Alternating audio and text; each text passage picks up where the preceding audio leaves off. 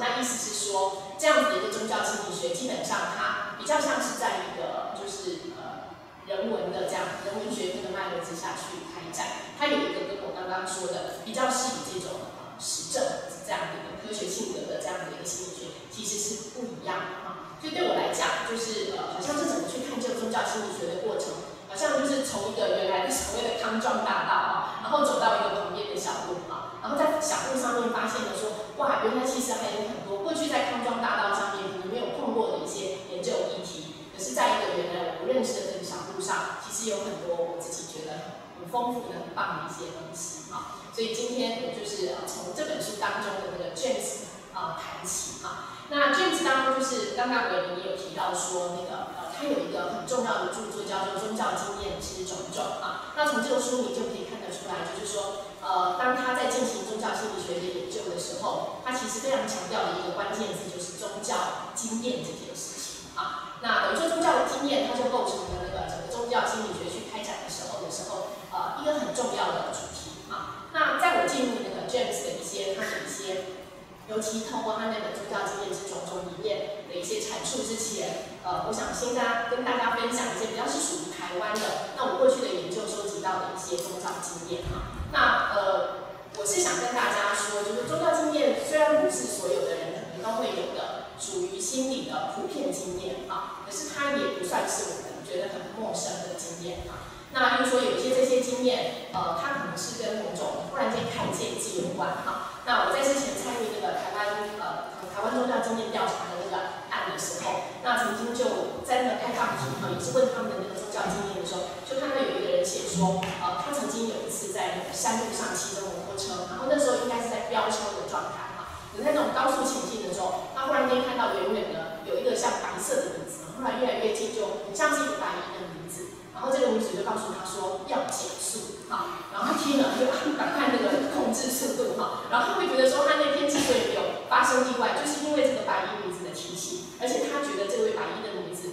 应该就是观世音菩萨，好，观世音菩萨来提醒他，好。那我有另外一个也是看见的经验，是我自己做的那个基督徒的祈祷经验哈，也是有一个留学生，那他在国外的那个呃念书的过程很不顺利，然后说有一天就在宿舍里面啊，就是在那边一直哭。哭泣的时候，那呃，这个这个呃，就是跟我分享经验的人，他是呃天主教徒啊，然后他就哭哭，然后他就他忽然间抬头看着那个宿舍墙壁白色的墙壁上，他就看到那个耶稣的像啊，就现出那个耶稣像在那个地方啊。那他说他刚看的时候，其实因为他那时候他说他实在是哭得太猛，他也不太懂那个哈，就纵然他可能看到一个很奇怪的奇怪的，就一般人可能不会不会不会在墙壁上看到。那他就那个，他就他就也也没有太理会。可是他说他事后回顾的时候，他他就想他就讲说，呃，其实当我那么苦的时候啊，他就会觉得说，其实耶稣也在旁边陪着我一起在苦，一起在受苦啊。所以这个是看见。那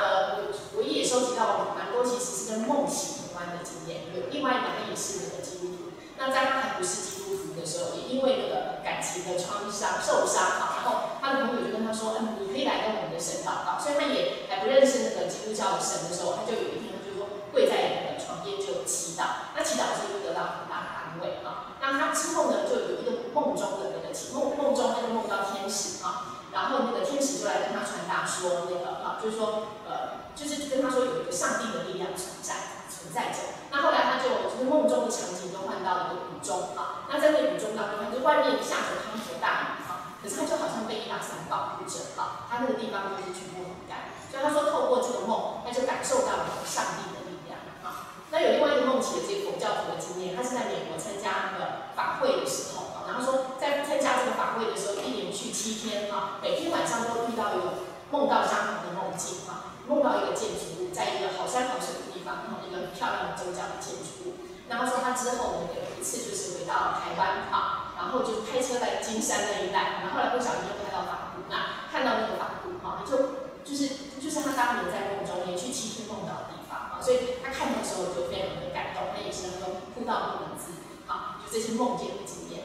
那我收集的资料有一些是好像比较在呃很危险的处境当中，感受到一个去呃拯救赎救他的力量。好像有一个人分享他的小孩有一次不小心从那个四楼摔下去哈，那他匆匆赶到医院，我觉得很可怕。然后那个结果小孩没有受很严重伤，那那个孩子跟他说，他在那个掉落到地面之前，他感受到有一个力量把他拖着，啊，就没有让他掉下去，啊。那我刚刚跟大家分享的这些经验，可能在你的周围，呃，就不管你是研究啊，或者是说你自己呃听身旁的一些朋友讲，呃，可能都不会对这些经验太感陌生啊。就说我们可能都有这些各式各样的话，有的看见，有的听见，有的透过梦的启示，有的透过自己在某种呃。灾难之中，然后那个被救赎的这样子的一个一个一个经验等等啊，那这个就是我刚刚刚是举的是比较呃我们台湾的一些一些材料，那这些呃都是我今天想要跟大家分享的那个 James 想要去探究的，呃把它称之为宗教经验这样子的一个一个一个一个对象啊。那接着我就呃我等一下会先跟大家分享这个卷子，我为什么会去关注宗教，尤其是宗教经验啊。然后他在这本书，呃，对于宗教经验，呃的主要论点啊，那还有就是说，呃卷子呃，对于宗教经验的这样子一个分析，它分别对于宗教学跟心理学带来一个怎么样的启发啊，以及对于这个宗教心理学建立跟开展的一些影响啊，好，好，那我们今天先有一个介介绍这个 James 啊，James 他是一八四二年到一九一零年啊，那呃，他其实是我呃在这本书。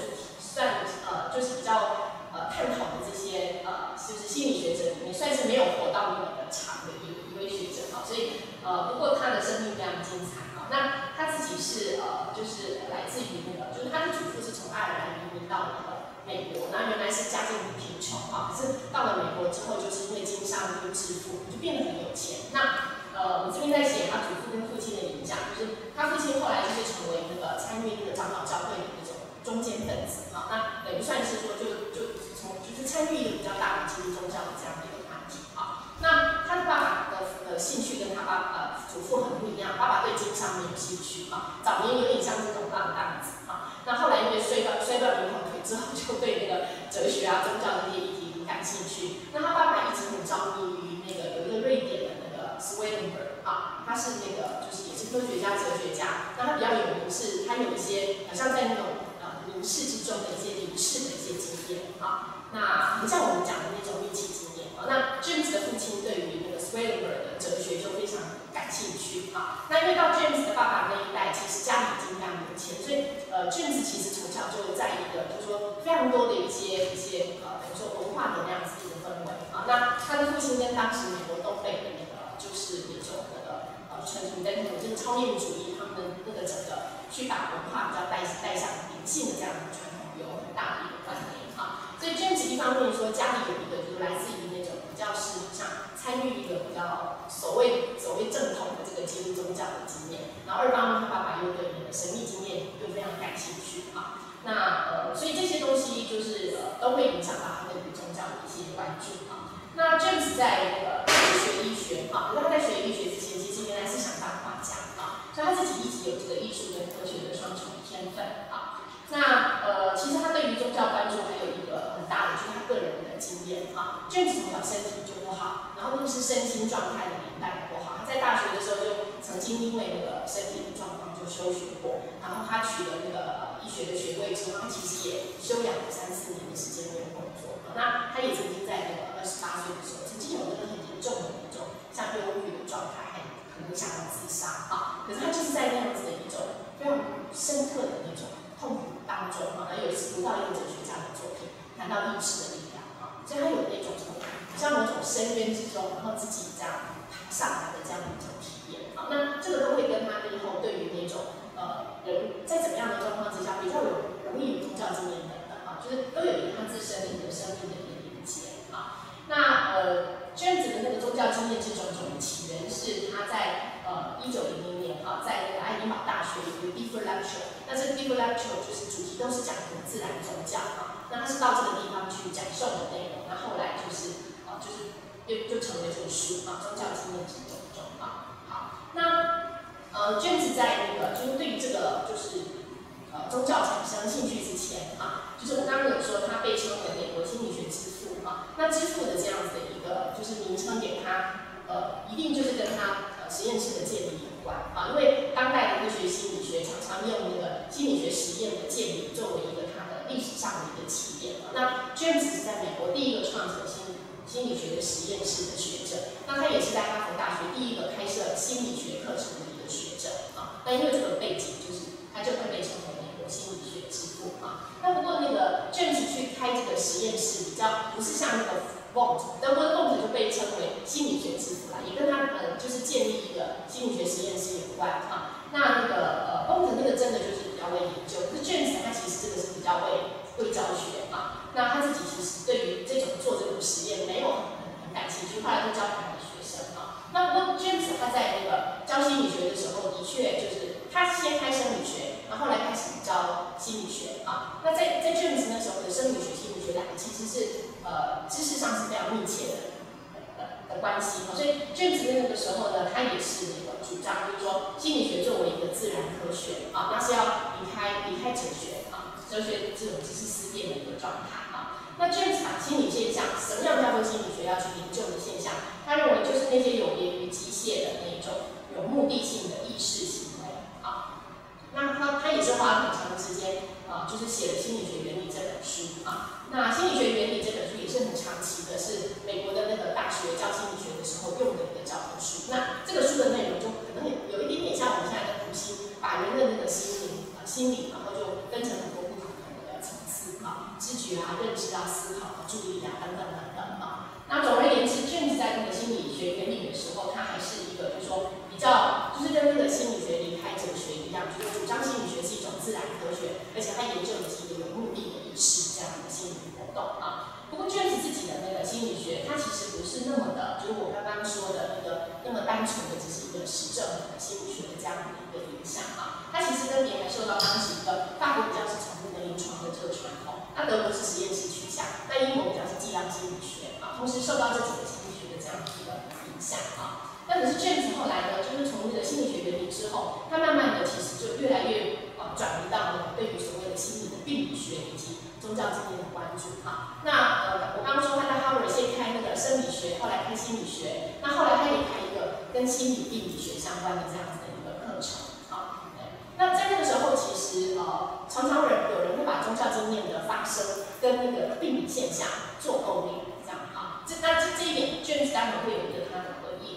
那呃，这到了卷子开始对这个心理病理学感兴趣的时候呢，他认为说心理学应该研究经验的。全部内容啊，不只是研究一个，就是说好像有有马上可以反思到的那种直接经验啊，那种意识流，他还必须去研究意识的边缘啊，以及意识的转换的一个状态。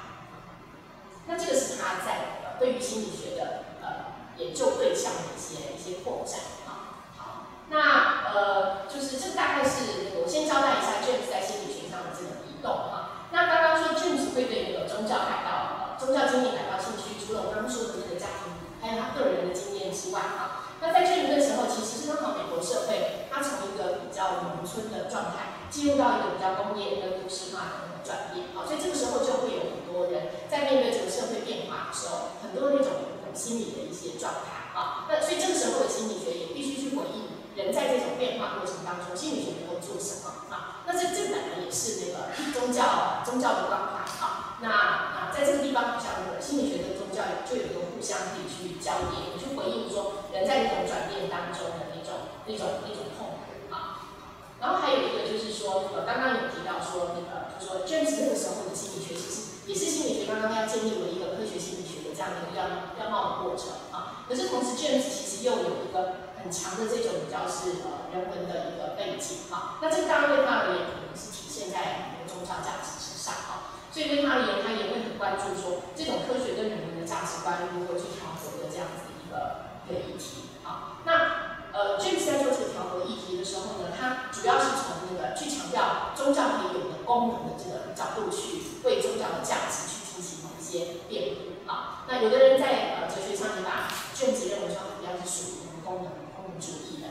那他在这边呢就强调说，呃，宗教如果不要去论及它一些教义的内容，我们光看说它对于个体带来的一些一些效效效用的话，会看到说它其实是有一个帮助人去面对痛苦、缓解痛苦这样的一种能力啊。所以从这样的一个角度去为宗教去进行辩护啊。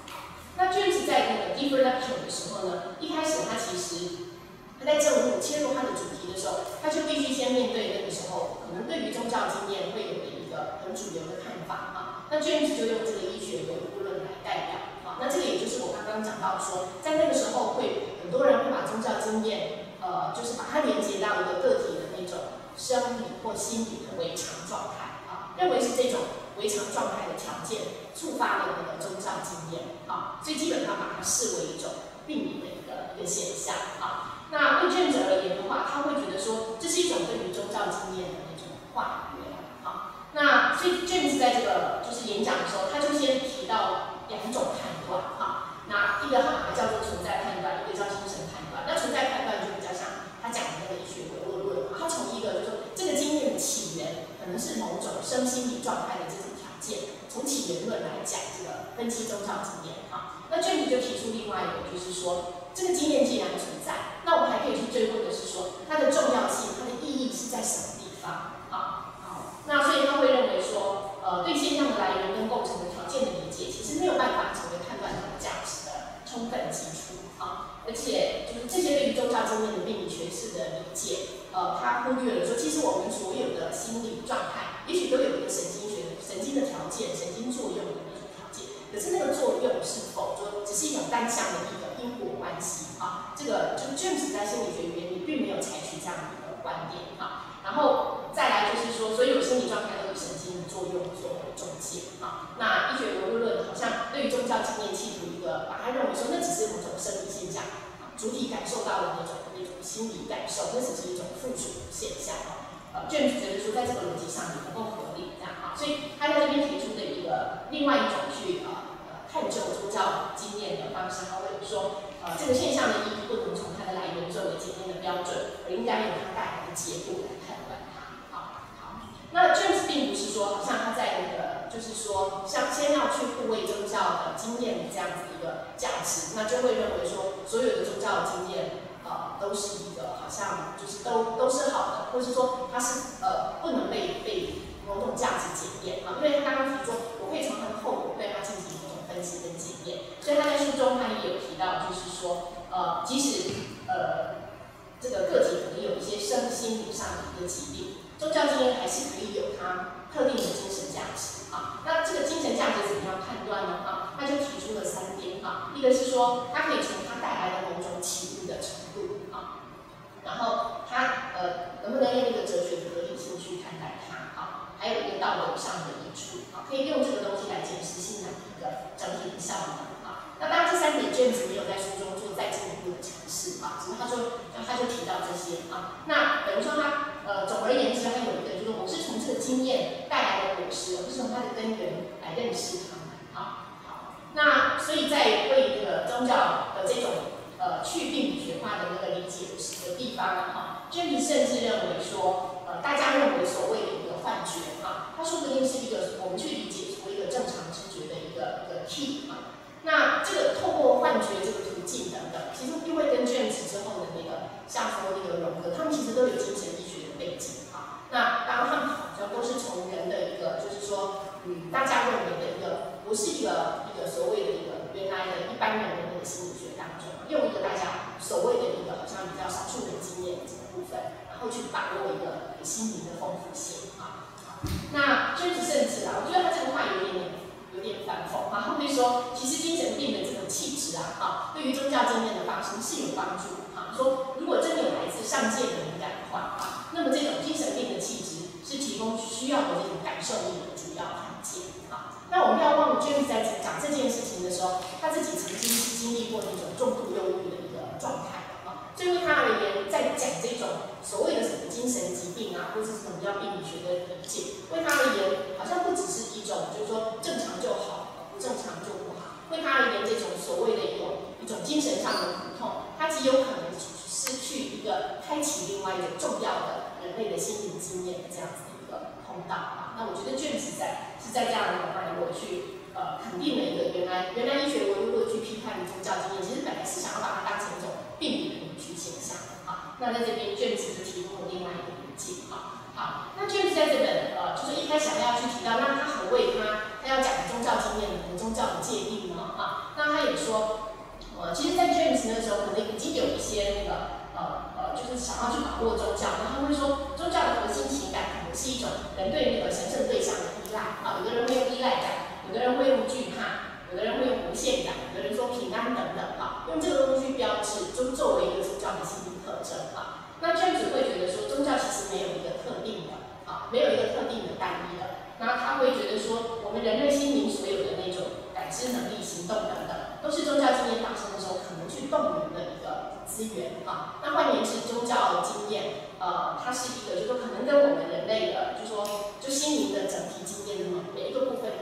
都有关的。而且当它在发生在一个不同的个体身上的时候，它有一个不同的一个展现啊。那因为呃，卷子想讨论那个个体啊，所以他在这边就下了一个，就是为了讨论个人的宗教经验的时候的一个对宗教的界定啊。那他认为说宗教是。个体在他孤独孤独的状态当中，哈，就你看他是用一个比较个体的，而且是如此的，哈。那这边当然就某种程度的是先不去讨讨论一个比较是属于一个一个集体的，也许是一个历史文化啊社会的一个脉络，他就先就个体做出发。那当个体认为自身跟他认定的那个神圣的对象，哈的时候有某种关系的时候，种种的感觉、行动跟经验，啊。那在这边也看到说，卷子是把那个宗教经验。把它视为某种关系啊，人跟一个神圣对象。那当然，他这边讲的神圣对象不一定是你的神啊，或是他自己的那个背景，其实宗教的神。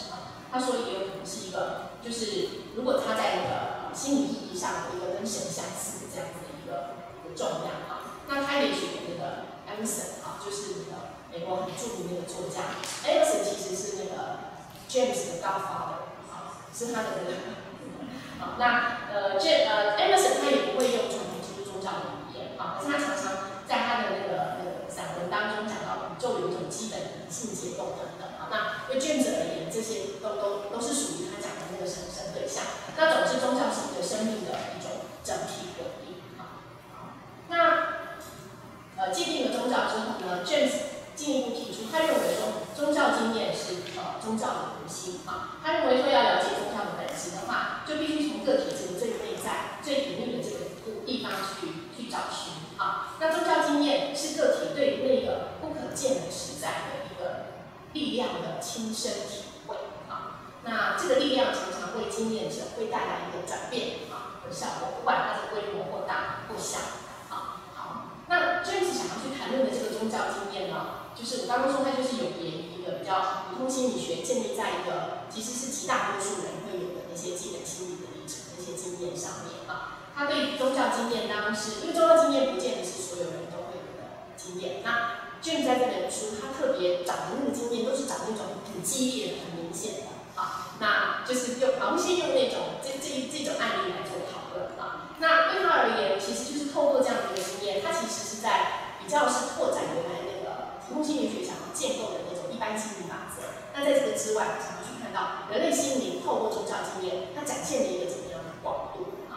所以，问他而言，比较不是求取一个一般心理法则的这样子一个探究啊。那他他也强调宗教经验的多元性跟个别差异啊。那也认为说这样的一个宗教经验有别于，就是说，呃，很多宗教团体已经有的某一种来自于那个团体的有一些他们的神学啊，或是信理等等啊，就是有别于这个抽象神学的概念，他提的。观点啊，那我刚刚有提到说，呃，君子会去强调宗教带来的一个功能啊，所以他会提到说，呃，宗教其实有一个很特别的一个克服不幸的能力。好，当人人在面对这些灾祸或困厄的时候啊，是宗教使得那个我们不管如何都要去承受的这件事情啊，它可以让它变得比较容易，甚至成为某一种某一种幸福啊。那这句话是直接那种 quote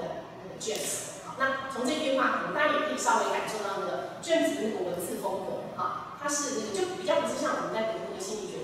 里的那种文字，哈，它是有一种有一种反反正大家从它的那种修辞啊，啊等等，感受到感受到这些东西哈。那他也从一个比较生物学的观点来看，就是他会觉得说人是需要这样子一个观点，这种能力哈。好，那我刚刚有提到说宗教经验它的对象是那个不可见实在哈。那 James 会觉得说宗教的那个对象呢哈，常常就是一种对于神圣灵在的一种一种觉知啊。那我刚刚说的可能透过视觉啊、梦境啊，那也有蛮多是听到啊，或是闻到味道等等等等啊。那就是你就是感受到某个对象他在啊，他在。那当然，那他在的经验不是所有人都可以感受到，可是对当事人而言啊，呃，就说他可能没有办法对这样的经验提出一个一个理性的论据等等啊，可是为他而言带来一种真实的感受啊，然后他他就是有一种确信啊，然后他嗯不认为自己好像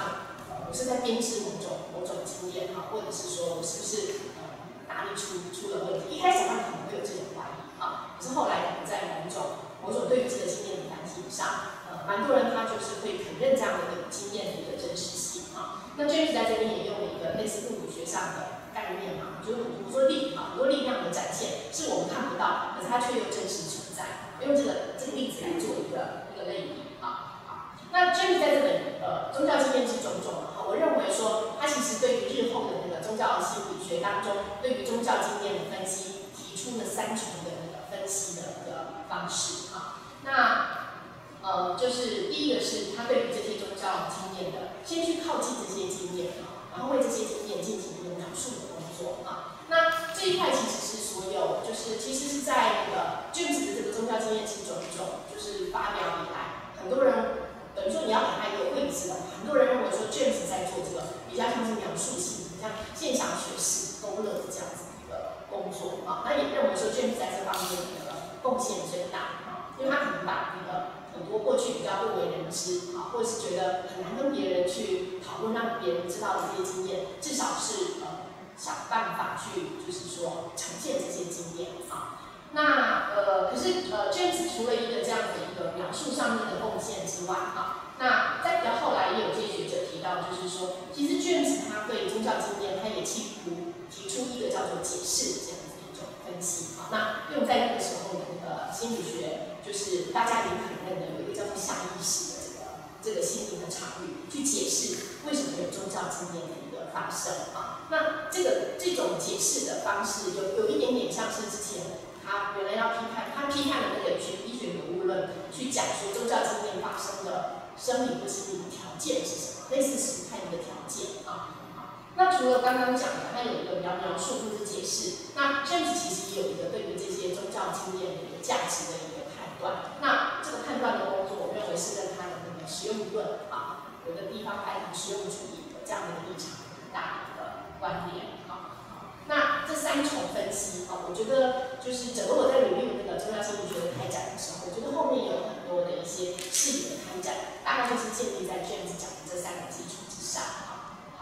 那呃卷子用的那个描述呢，啊，它是先用的类型论啊。那类型论其实也是卷子在那个时候的啊，在讲事情的时候很很常出现的，就是说在还还流行类型论，就类型论为我们现在而言，其实已经不是成为一个知识的主流啊。更何况娟子只提出两种类型啊。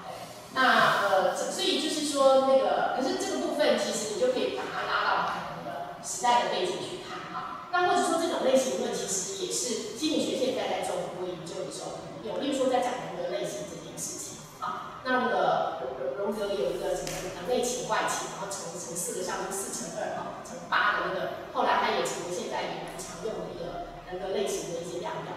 啊，就是其实现在的人格的那种量表的研究，很多可能还是踩在类型论的概念啊，那只是说那个 James 自己也比较粗啊，它就分成两种这样啊。那呃，所以它实际的，嗯，是不是要这样分等等哈？就说这个当然后来就没有人用哈。可是，在 James 在这边提出一个比较重要的主张，就是说人会随着不同的人的气质、先天的倾向等等，他们会开开展出不一样的宗教性啊。那他们也会需要不一样的宗教。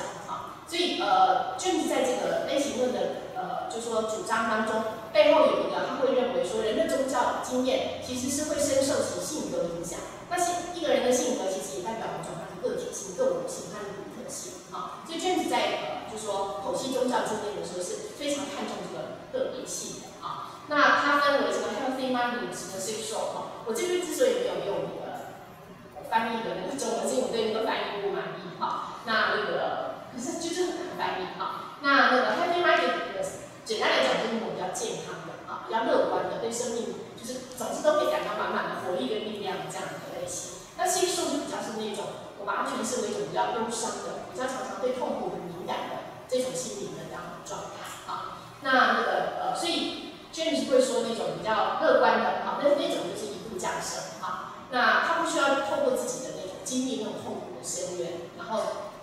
自我分裂，然后整合的那个过程来体验到那个宗教的神圣啊。那后者这个就是他说的那种比较忧伤的受苦的这种这种状态。那这样的人需要二度降生啊。那 James 说，就是 C 说，他总是见到这个世界比较深的那一面啊。那深的那一面其实就是痛苦嘛啊。那或者是活着种种要必然承受的这些老病死等等这样。可是这个痛苦为心灵而言，就我刚刚说的，它是一个开启宗教经验的一个重要的一个又很大。所以 James 其实在对这两种类型的宗教做分析的时候，他个人其实是觉得说，呃，这个 C 受的这一类的宗教经验是比较有深度的经验啊，因为要很痛苦才能很没有深度啊，所以他会觉得说那个呃比较乐观的那一种，他会觉得比较比较肤浅啊。那尽管 James 会觉得第一种第一种宗教性好像比较浅哈，可是这个也不代表说他就那个好像就对他有个负面的看法啊，在他讨论那个。呃，就是 healthy Minds 这个类型的时候，他有提到那时候在美国的社会很流行的一个叫做心理意志运动啊。那这个心理意志运动，我觉得其实是很常出现在社会当中，就是他可能用很多那种正向的自我鼓励啊。那心理学可能会说，就有很多自我催眠的方法啊，那每每天不断的告诉自己，我会很好啊，我是美丽的啊。然后当我在困难当中。会有良善的力量来帮助我啊，然后就是我们现在不是有很多这些书吗？啊，秘密啊什么的哈，所以那个在那时候还有一个心灵意志运动啊，就类似这样的一个一个这很多这种团体，然后呃会吸引人去参加。那有一段时间，其实美国政府想要立法禁止啊，因为他用了那个 cure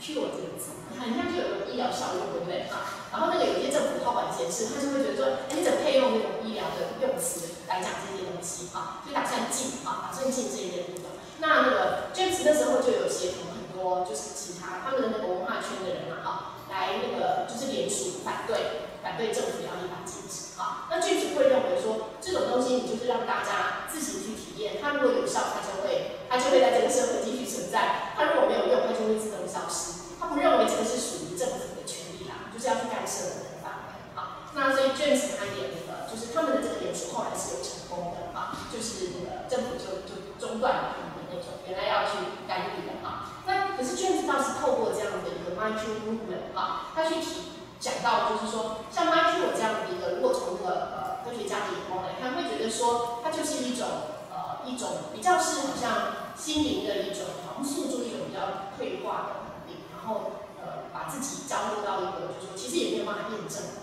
总之，就会觉得这是一种比较像是迷信的这样一个状态啊。那 James 就用这个例子来讨论科学跟宗教的张力啊。他会认为说，科学有一种，他去验证真假的这个逻辑方式。可是，如果为这些参与这个 micro micro movement 的人而言呢，他其实是比较有一种实用主义的一个，就是说我先假定某一个事情是真的啊。然后我就住到这个时间去验证它，如果它它对我产生的效果，那么它就是真的；那如果它没有用，那它就是假的。好，那所以 James 想用那个 micro movement 这个例子来讲说，其实个体有种种去适应世界的很多各式各样的不同的那个系统，啊，并不是说全世界只能处在同一种验证验证真假的某种逻辑、同种适应的一种方法。啊所以他借着对于这个心理意识运动的这样子一个辩护，他其实是是想要去主张说，有一种别于这种科学的那种真假的这种验证的，或是背后的世界观啊，以及人类去适应世界的系统的多样性。而这个多样性很多，它可能就是透过一个像是这样子的一种宗教的实践去去去得来的啊。所以他虽然觉得这个心理意识运动比较是建立在一种啊，当然可能是真的有点。肤浅跟那个那个 sexual 比起来啊，可是还是承认它的某种价值啊。好，那当他在那个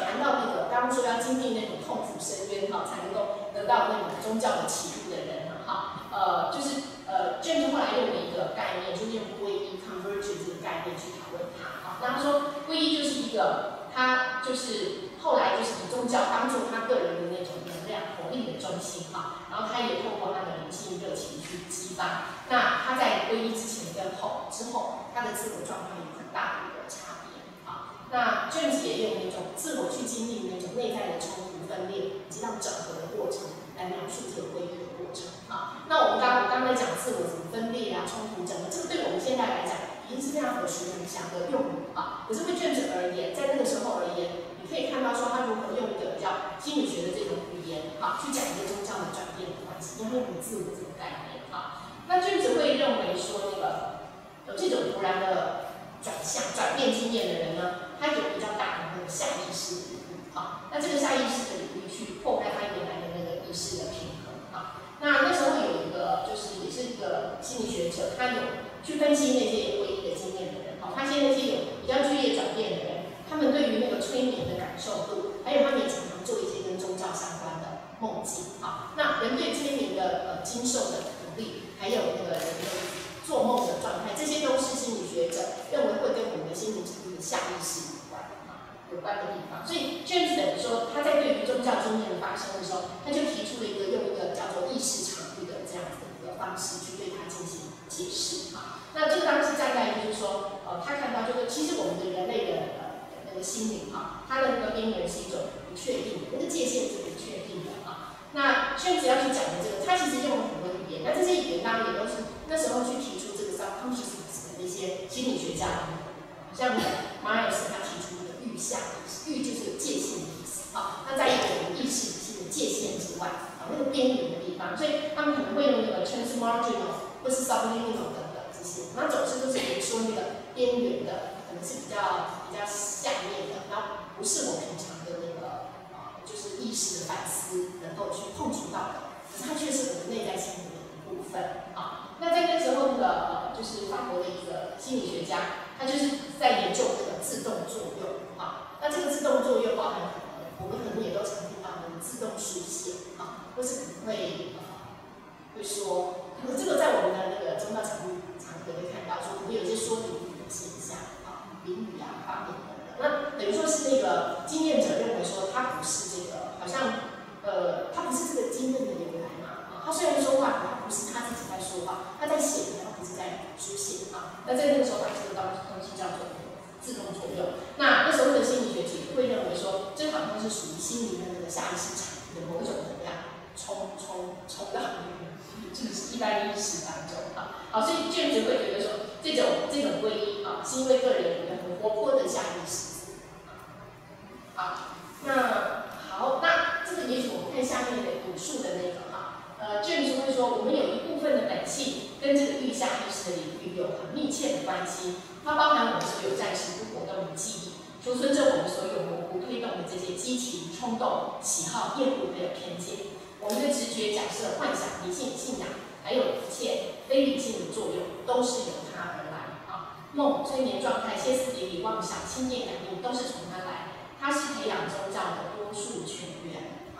那呃，我觉得 James 这段话在书中很重要哈。那当然，James 在这边呃，他就是比起在他之后那个弗洛伊德对于无意识的那个理解嘛，那 James 啊，那荣格在进一步提出集体无意识等等，当后面的人呢，很多很多理论化的。内容是更细的啊。那 James 这边他没有那么的，就是他主要还是援引那时候研究这些下意识的一些心理学的研究成果啊，来来作为一个解释。他没有自己去做这个研究啊。那呃，可是呃，他会那个就是指出了这样的地方啊，而且这个地方它其实是蕴含所有的很多的种种的可能性，包含那些可能是他认为叫做比较理性的部分，可是他可能也。有一些很深的一些信仰起伏，也通通都是从这样从这样子一个全源而来啊。那虽然 James 没有再去细分或是进一步的理论化这个下意识啊，可是他至少指出说宗教经验跟这样子一个下意识自我有一个很重要的关系啊。好，所以我刚刚讲的是说，James 对于宗教经验想要替企图用一个当时流行心理学的意识场域的理论来解释这些经验的一个发生啊。那这样子一种解释啊，会不会也很像我刚刚说他所批判的那个医学唯物论？因为医学唯物论认为说，你这些宗教经验的发生，就是跟你的生理失调有关嘛。好，那就是他的条件构成了这样子的的经验的发生。那 James 的这样子的一种解释，就是说他会不会把人的宗教经验也犹如他批判的医学唯物论约化为一个下意识的活动而已？啊，这不过是你的下意识自我的一种展现啊，跟什么什么神圣的力量是没有关系的啊，可能也没有一种东西啊。那到底 James 这个唯物论的差别是什么啊？那有一个巨大的差别啊，James 当他提出一个关于刚刚说的那个下意识理论的一个解释的时候呢，啊，他有说，呃，心理学他想他说，或者他自己啊想要用下意识自我的这个概念呢，他说不应该排除更高力量的渗透的这个观念啊。他说，如果存在着那个能够感动我们的更高力量的存在，也许他们只能借由这个下意识的门径来到我们的心中啊。所以 James 在这边他是比较有自觉的去区分说，就这样的经验而言，他可能会有一个当事者解。其实当事者常常比较会觉得，我这边用一个白白的四证，其实是比较像呃 James 这边讨论很多都是基督通常的例子。啊，对他们而言可能是某种来自于上帝、来自于神的那种恩典经验。哈，所以他们会认为说他自己不是启动的人，他是一个被动的接受的人。哈，所以我这边用一个白白的，不是透过他个人的的一个好像呃去争取哈，是一个一个领领受，像礼物一般的东西，这为当事人而言是这样的一个经验啊，然后他当然就不也不会认为那是他自己编织的经验啊，那呃为神学而言，神学也会有一个这样的一个解释啊，就说对于人的这些啊，例如说在基督宗教里面，可能也有像我们的灵恩复兴运动里面很多灵恩的经验，像我刚刚说说方言啊、灵语啊、啊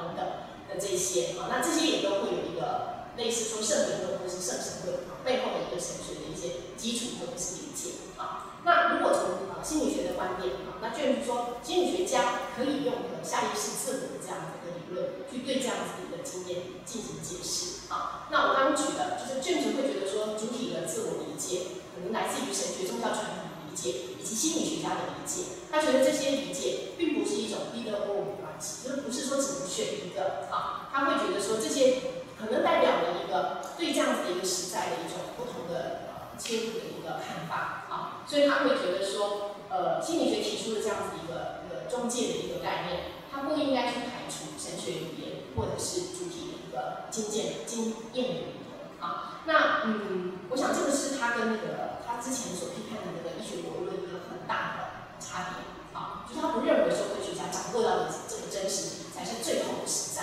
啊，那主体经验到的那个是已经那个被。就是说，呃，那是一种 secondary 的哈的那个哈，就是它不是一种真正的经验。那那个呃神学的那些觉得，哎，又不能透过科学来验证啊，所以也不是那么承认那样子的一种实在啊。那所以卷子在这边，它有一个企图去进行解释的这样一个分析啊，可是它就是它并没有要用科学家看到的实在来排除其他的实在的意见啊。好，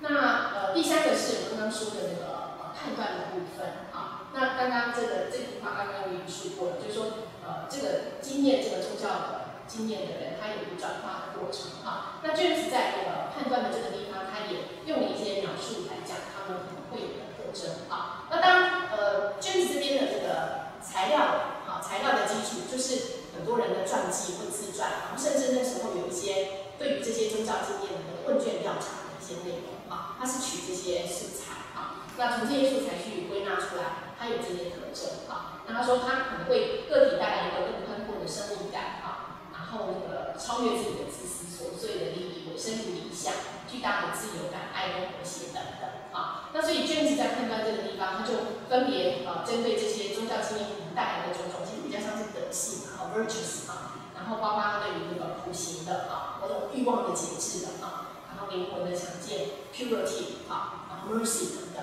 他有针对这些去做一些他的那个 critique 啊，那他这边他是用一个比较像西方宗教里面，他对于圣徒的理解，啊，圣徒代表一个就是基督宗教里面可能对于一个宗教道德的一个典范的这样子的一种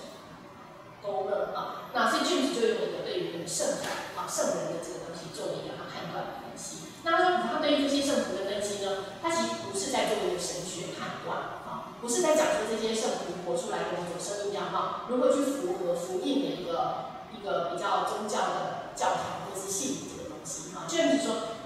个人类的标准，就是一般的活生生的普通人的一个标准啊。那这普通人的标准是什么？他说这种宗教生活可以多大程度的作为一种理想的人生活动啊。那所以卷子在做这个他讲的那个判断的时候呢，有一些可能对于神学来讲是一种很值得。鼓励的一种德性，可是为卷子而言，它不符合这种人类的他认为比较理想的状态啊。例如说，他就有曾经对那个，就是他下面讲这个奉献、纯净、慈悲、普信，他就有那个纯净的人哈，他就有呃提到，就是说可能，例如说在那个比较怎么讲，那种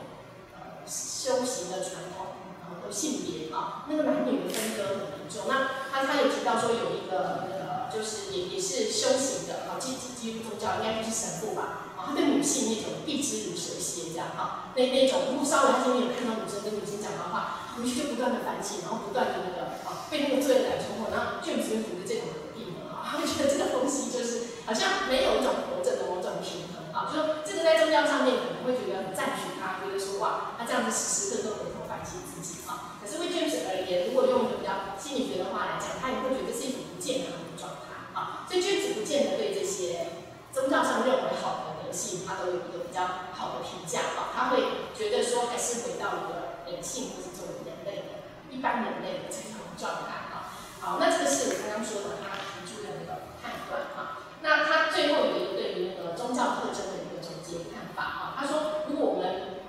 呃把看到的宗教生活特征用最宽广的方法来做一个总结的话啊。那他说，呃，就是这些有宗教信念的人呢，啊，他们的信念是说，有形世界是一个更具精神性的世界的一部分，啊，而且这个有形世界是透过这个精神的世界获得它的意义，啊，然后跟这个更高的精神世界合一或是和谐的关系，是活着的真正的一个目的，啊，那而且人是可以透过，好像是啊祈祷或是跟这个世界的内在交流等等，啊。然后来跟他就是实际完成一些工作。那在这个工作的过程当中，精神的能量会流入现象的世界，带来心理或者是物质的效果。啊，那他的这个总结的方式，你可以看到说，他他其实不是用神学的语言，啊，那他用一个一个比较概括这些经验的整体而用的一种，其实这这像是一种描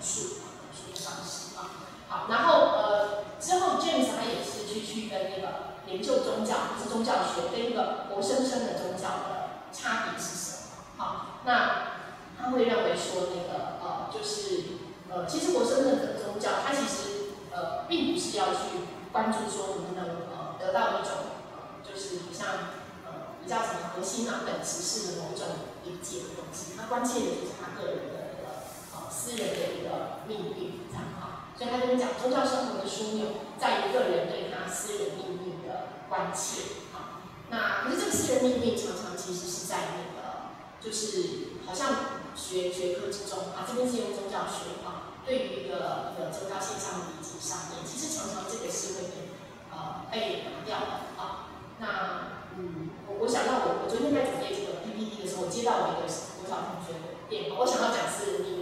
这件他跟我说他爸爸已经在临终的过程啊，他说因为你是学宗教研究的。觉得应该要来找你问啊，然后他说他爸爸那个就是那个已经在临终，所以他常常有瞻望的现象。然后他说就是看到，而且看到一个很像那个白无常，还有他爸爸的妈妈还有妹妹都去世了，好像要来找他。然后他说这个同学跟我说，是因为他有参加一个宗教团体，他说他的师傅跟他说，他爸爸应该是会被观世音菩萨接走啊。然后他有一次在医院陪爸爸的时候，他是梦到地藏王萨啊。然后他说你能不能告诉我，就是为什么不是观音？观世音菩萨或是地藏王菩萨，可是他看到白无常的那个我奶奶跟姑姑啊，对，他说为什么有这个差别？然后他就很焦虑啊，这个就是他私人命运的关系，好，就是他很关切爸爸在这个时刻。然后他后来也跟我说，他觉得爸爸很大的不平安啊，然后他可以怎么办？可是爸爸没有任何宗教背景啊，那他虽然自己有佛教信仰，那他该不该去呃为爸爸念经啊等等这些？而如果念经，他说念经，他知道又会招来很多那个吸引一些来那个。然后要怎么办啊？然后他就他就不断反复说，因为你是念宗教研究，所以我来问你啊，然后我心中当然是一阵焦虑。我一开始听到他要问我，我就很焦虑，因为每每人家说你是宗教研究的时候，其实你都知道问你并不是宗教研究，原来讲的那个东西哈。可是我听我刚刚就说我感受的，就哎，我还想说为什么我在准备今天要跟大家分享的时候，忽然间中间来了一个这样的电话，然后他他其实。就是在跟我表达他他的他的那个哈，他的一些关切，然后呃，然后我们能够回应什么啊？就是在这边说他有一点点的那个差异嘛。那呃好，所以就是现代科学其实是排除那种差异跟个别性啊。可是当 James 在今天指出宗教经验的重要性的时候，他是想去探讨他独特的一个个人性啊，然后看重那个主观现实为这个当下人的这样子一个一个重要性啊。那我我回应那个同学的方式，其实也是有有一点点用到那个宗教学或是人类学嘛，啊，我就跟他说，其实我们对很多事情的理解会带着文化的眼镜，啊，就是这个文化的眼镜会决定你比较容易看到什么，跟不容易看到什么。那因为爸爸没有任何宗教信仰，可是他一定多多少少长在一个我们的那个那个文化氛围理解当中，会觉得说啊，死就是那个什么。那个黑白无常啊，或是会看到亲人啊，啊，我说这些这些连接很容易浮现，而你自己因为有一个佛教的那个参与的经验，所以为你的眼，你的你的眼镜就让你比较容易看到。那我刚刚说这些不同的看见，它并不抵触啊，并不是说只有一个是真的。我说你们就是在这种多重的现实，那看不见的也不代表不存在。好，我就我就是跟他说，我觉得你还是用可以用你你一个教徒的意象，好，会把把从你的这个宗教传统去为他那个。祈就是祈愿嘛，佛教会说是祈愿啊，为他为他祝福这样哈。那可是爸爸他看不见，是因为他过去的这种种种的那种经验嘛啊。那他不可能一下子就看见，这不代表就是你们真的孩子才是真的啊。然后他说那个念经常常会有很多吸引很多很多别的跑来要抢，然后我就跟他说，说哎这也是一种做功德啊。然后我发现功德是那个关键字，我一说的功德，他马上豁然开朗。他说对哦，我在做功德，然后他说很高兴，然后说对，我果然来问你是对的这样，然后那个就是，可是我就是不小心说出了功德这两个字，然后就会让他觉得他在做这件事情的时候不用担心被抢走。啊，而是说我说你也可以跟这些想要来分的人说，你主要是为爸爸，好，是当他们如果有想来也也可以，可是不要这样子这个那个哈，然后你也愿意分一些给他们，我说这样不是都就是本来我用功德的概念嘛，哈，对。然后我觉得，那功德其实也是一个重要的那个，如果我们从一个比较文化的概念来看，是一个就是我们说的一个很重要的那个意义系统嘛，啊，让我们能够就是呃引导我们的一个生活啊，这等一下我会去讲啊。好，那所以那个那就是在后面做一个总结性的时候，他认为说宗教最简单的说法，或是宗教撇除那些背后的不同的那个心理教条，最后其实就是一种个体对于不安的那种感受啊。以及接着跟更高力量的适当联系，得到的这种解放啊、解救。然后那个传统的描述，他觉得那个是 overview 啊，就是不同的信仰内容。可是如果从心理学的角度来看，其实就是一种不安跟他的解救啊。那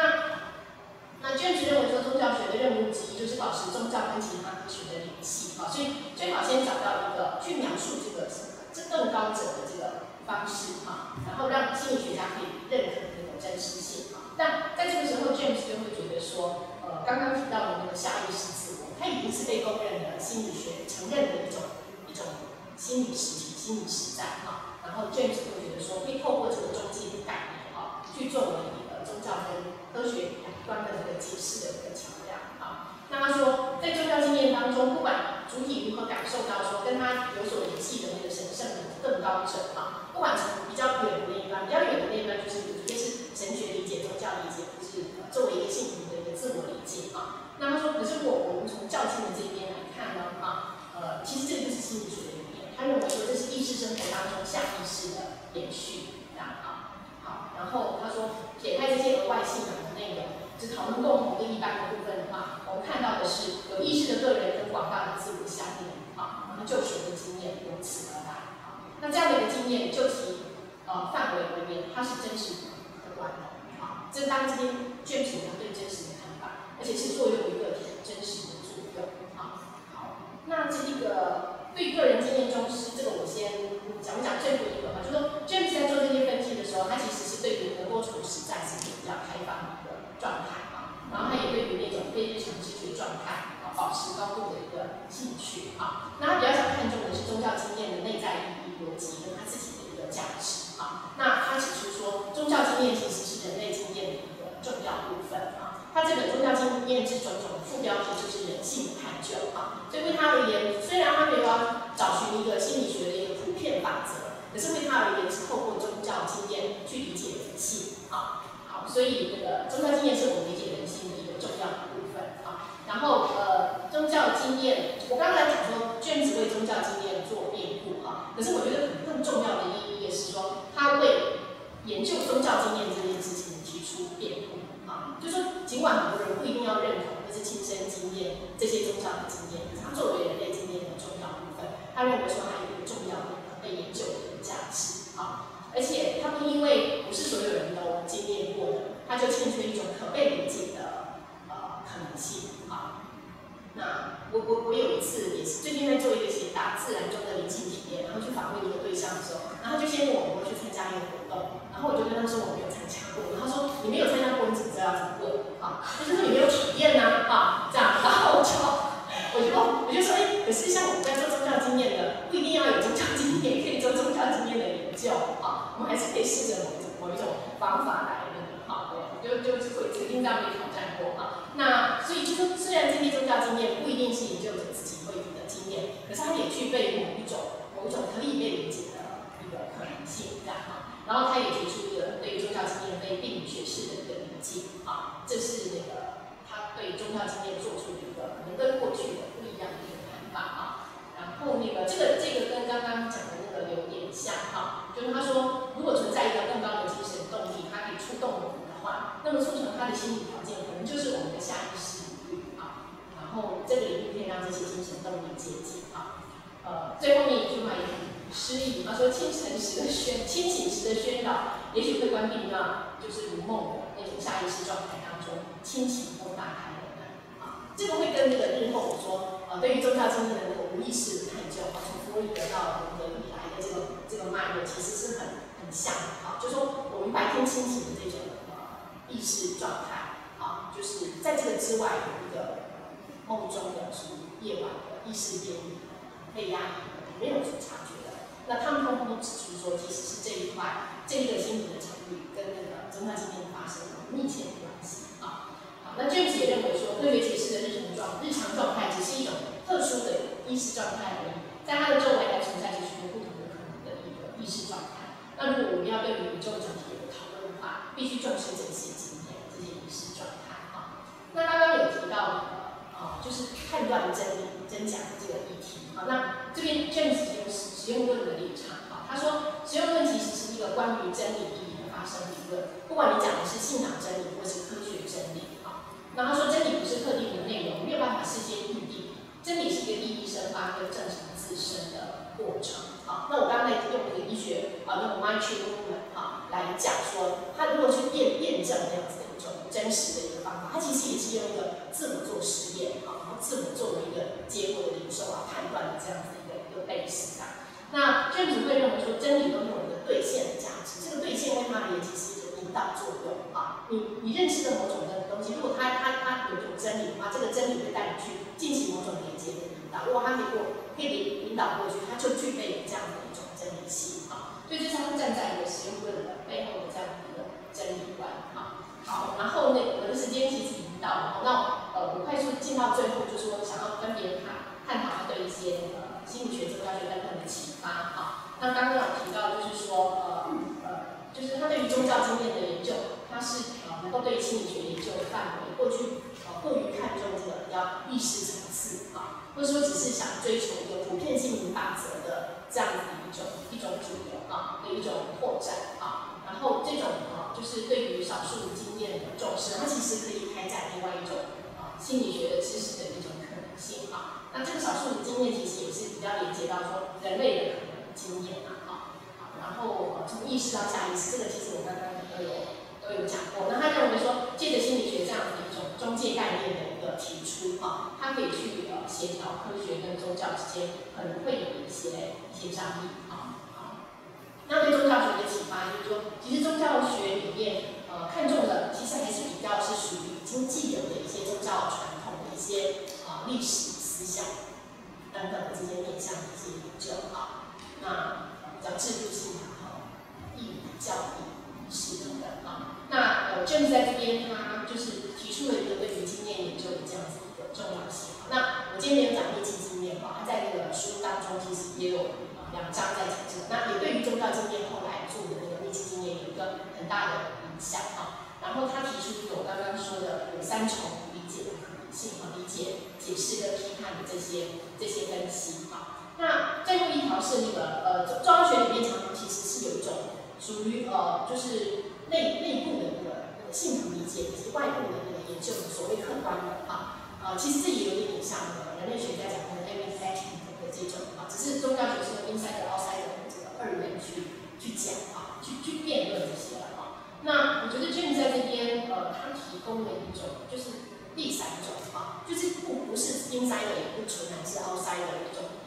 呃就是 reflexive，这样，它就是真理。那我这个词是从另外一个那个 private 的学者啊，他有写一个 comparative religion 里面，他提出提出的这样的一个概念。那这个反真性的意思是说，嗯，这个研究者其实，就是当他站在外部的时候，他不用自觉于一个，就是说他自身可能也是整个整个人类经验的一份子嘛，啊，他自己就是他被他要去研究的那个那个对象，他也是置身于置身于其中啊。然后还有就是说，就那个 inside 而言啊，就是说，嗯，在当代的那种那种，其实是一个多元的宗教，而且其实已经呃充斥着很多对于宗教的种种不同的理论的这样的一个理解当中啊。那么，那么就说信徒的那种单一语言，从一个单一宗教传出来的语言，它是不是势必其实也要去跟这些不同的理论语言啊，有一种可能去理解或是对话这样子一种可能性啊。所以我觉得那个正在这边起码它。提供的不是一种像我们绝对不要站在一个就是说所谓客观的外部的这种科学的理解上，才算是合法的一个学术知识。好，然后那个对心理学日后的那个开展的影响，第一个就是说，就你在这边去援引的那个下意识场域的研究，它其实是后来的那个几个，我觉得其实是更细致的哈。对于那个宗教经验，不管是发生或是卷子看重的那个，它带来的一些转化的效果等等啊。博弈的融合的这些理论等等，其实就是说一直是在这样子的一个脉络当中。那这个东西也就是说指出了这个无意识或是下意识研究的重要性。然后再来就是说，他也指出说这些宗教经验其实是跟个体去经历那个转化的关系有很大的关联啊。所以他也那个就是对于那个日后比较是像荣格或是超个人心理学等等啊，对于那个宗教带来的转化的这个议题啊，有一个很大的启示。嗯，荣格跟弗洛伊德曾经在那个 James 去世的前一年，他们就是去就是受邀那个 Harvard University 啊，就是颁发他们的博士啊。然后那个在那个时候，那个 James 跟荣格有过那个见面，然后两个人讲了很久的话，像谈神话啊。因为他们其实都应该说荣格跟弗洛伊德就比较难讲这个话题啊，讲这个宗教的。可是他说，就是 James 跟他就很很能讲的啊。那不过这个会面之后，那个 James 可能就就去世了啊。就是对这个转化很看重啊，然后还有就是说，呃，这个其实对宗教心理学而言，这种科学的理论语言跟那个宗教的内在理解，它一直是一个很重要的的学习背景的一个议题啊。那 James 的心理学啊，宗教心理学对宗教经验的分析，其实也是针对这样子的日后的对话开启一个很重要的开端啊。那我在今天呃呃演讲当中有提到说，心理学其实自己不是一个没有任何价值判断或光环的一个中立的科学。心理学自己其实也都会提出种种对于人性或人观的假设，以及他自己对于人观的价值思辨啊。所以当心理学跟宗教相遇的时候，它牵涉到的其实就是种种这些不同的人观或者是生活意义的理解跟价值的一个对话啊。所以当呃我们在描述宗教心理学的时候，其实更世界的说法，可能是要把它讲成是宗教跟心理学的对话啊。那 James 在这个对话当中提出理解个体宗教经验对于人类整体经验的重要性啊，然后。他从预下意识去解释宗教经验发生的理论，以及对于宗教作用以及真理宣称的反思，都对于宗教心理学的后续发展提供了重要的架构。好，好，那我最后给大家的这个图是我从我很喜欢的一个绘本叫做《小道》，其实我是常用的绘本来讲荣格心理学，然后讲这个集体无意识嘛。不过我这边是要讲说，对卷子而言呢，哈，我们的心灵可能就很像朱熹这首诗在讲的，说是那个天光云影共台湾。就是说，我们的心灵很丰富啊，然后它它很广，它有很大的一个深度啊。那呃，宗教经验也许是去映照出这个心灵的广度跟深度的时候，可能是一个很重要的一一个一个材料，那我们通过它去认识我们的这些心灵啊，所以我最后才是才选了朱熹的这个生还有这个图跟大家做分享，那非常谢谢大家的聆听。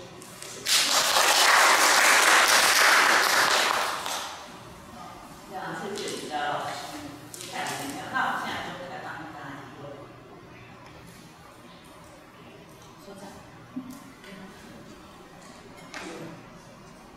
林佳，谢谢你啊。精彩的演讲，然后也恭喜你出了一本书。嗯，那个关于你的演讲部分，你回到那个前面有一个皈依那边，皈依。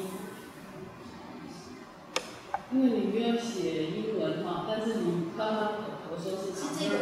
对对，比如说 conversion 嘛。对。可是第二个，James 认为有突然皈依经验，还有你说有转，好像是下一个转转皈依，嗯。请客，请客，我那不是，那不是上。我意思是说，皈依可以是从没有信仰到有信仰。那也，那就可是英文的话，conversion 是从有一个信仰到另外，对另外一个信仰，那那是完全不同的两种经验，一个是没宗教信仰到有，一个是从原来有到另外一个，那非常巨大的差异。所以我不知道说你这边做不做这个区分，还是说 James，因为我我不知道原文是怎么说。对，它就是 conversion，然后当 conversion 这个词。我在那时候翻这个书的时候啊，我就用了皈依嘛，啊，然后那个呃，其实后来我们才知道说，原来皈依是佛教的用语，啊，会用用这个这个字。那他卷在这边用的比较不是社会学讲改宗的那个脉络，改宗就像那个老师你刚刚说，从某一个信仰改到另外一个信仰。那卷子在这边他是讲说，原来一个人宗教不是他的生命中心、生活的中心，可是宗教从一个边缘进入到中心，然后。他的生活整个以宗教为中心的这种改变，他不是有清楚这样说。对，他是这样讲。然后，因为他的我这边一直讲请客，我刚刚没有讲。James 在那边其实还有去区分说，有一种是很戏剧的、突然的变化，哎，有一种是这样慢慢、慢慢、慢慢的，就是哎，有一天你回首，你才发现你有改变，可是不是那么明显看出来。那 James 在这边讲的案例都是突然间的，而且很多都是那个戒酒的，就是那种对戒酒，他可能经过教堂，然后进去坐在后面，然后就听牧师。讲这个东西，忽然豁然开朗，从此再也不沾一滴酒，就是这种。他他主要不是社会学上的，比较不是那个教那我第二个问题是，因为你比较多介绍这个 James 的说法，那我不知道现在它影响台湾的宗教心理学什么样的研究，还有能不能，因为我听你做了一些研究，嗯，针对你个人，你。有没有用他的做了什么样的实际你个人的研究？当初，因为卷子没有像那个弗洛伊德跟荣格后来都有他们的学派，然后很多后继的理论的一些 revise 啊，然后等等的这些，就是就是某种程度来讲，卷子被作为一个已经放在博物馆里面的状态，也是有有一半的真实的，对，所以他没有立什么学派，然后他最主要他在讲那种实用论啊，或是呃 radical。就是激进的经验论等等，这些可能反而是比较是在哲学、哲学的脉络之下比较多人谈它。可是如果是关于宗教心理学的研究的话，我觉得卷子比较像是一个，就是说开启视野，就是说他比较没有具体的理论再去让人家好像还在用谈他的一些理论。不过因为我刚刚说那个美国，他有一个卷子那个呃去世一百年之后的 revisiting，那时候出了几本书，那是有人。企图把 James 的一些，其实也是他讲的这个预下的这些理论等等，然后把它放到那个现在反而是认知研究，那个在讲 description，就说我如何去辨识一个宗教经验叫做宗教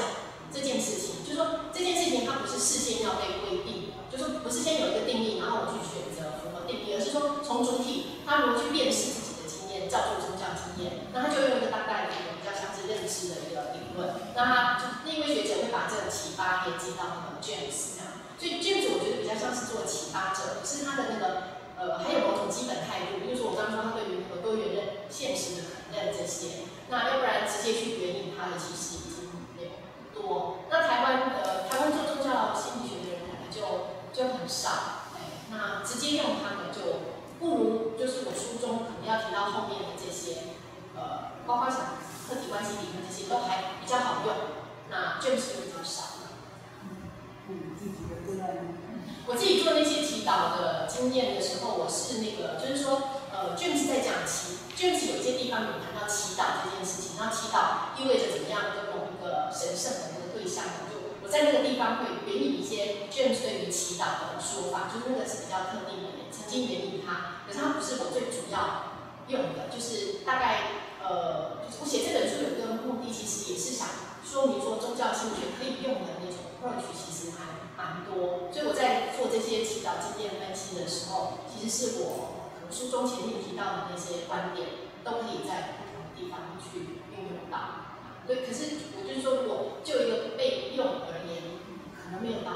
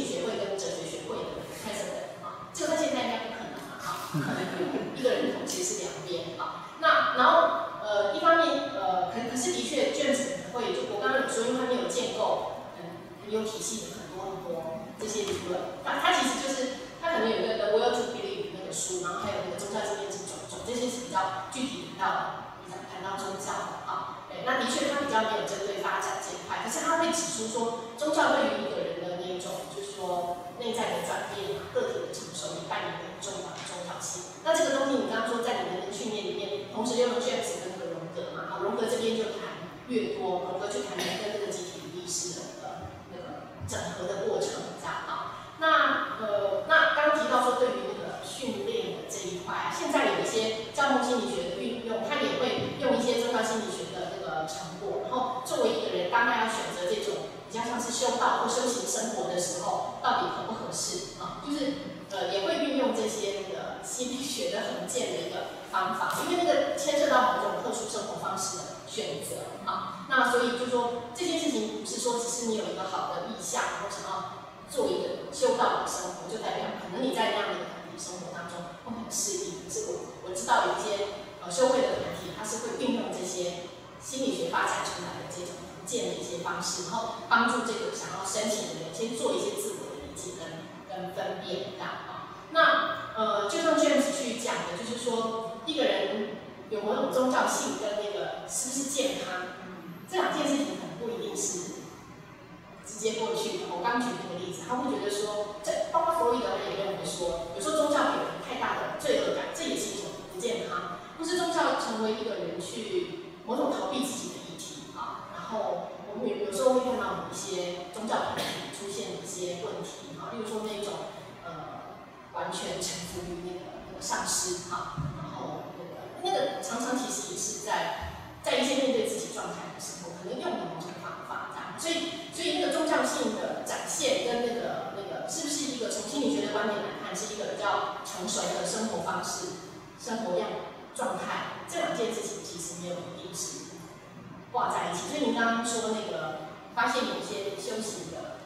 或是过这个这种宗教生活的人，可能不一定那么成熟啊。这个是金美杰老师，谢谢呃瑜伽的很丰富的啊这个有时候呃心理学之父，我觉得他的治治愈的那个詹姆斯治愈美国的心理学，就治愈离异远治愈他人类学。你可能有去过，因为哈佛大学他们已经学生的仪器就是在 James House 在那个仪器，就他讲，我真的很大胆很气派。然后他他有那不只是心理上，他那个哲学上讲他的那个物质基础是跟美国哈佛大学崛起关系的。那然后而且美国动力讲那个那个超验主义嘛，你要讲爱默生所，他整个就想要把这个基督教的思想，把这种超越性去那种主义化了那个，我潮流是蛮有关系的。那这边就讲到讲到说，有时候觉得这样子蛮三果，就不时要把这个最高的超越性要要搬出来。那那这个这种以基督教的那种超越性的范畴去想象那种东西，那他怎么去看地方的地方社会那种巫术啊，或者我们派来都叫神鬼祖先啊，神鬼祖先这种这种东西跟他所见过那一个那个好像人文主义的那个那个东西不一样？就就像小鬼最近走，大家都看到他，或者说看他弟弟，看他的天堂，这种东西怎么去？用你看做很多实证经验，怎么去来扛拜在一起，从这样子出发去去看待这个跟西方式的这种这种超越性的归因经验等等，这个问题。再一个，以社会学家的角度来讲，因为你刚才提到说，那建筑从实用主义的角度，好像对这种心灵成长、心灵鸡汤啊这个东西都都肯认可嘛，那那跟某种程度，它就是一个马克思讲，就是宗教就是意识形态啊，它常常就是就是让那些人觉得很自我成长、需要有正面的自觉，让这个社会进进行剥削。那那当时建筑是美国社会实用主义的这种潮流的范畴，跟美国的可能经济成长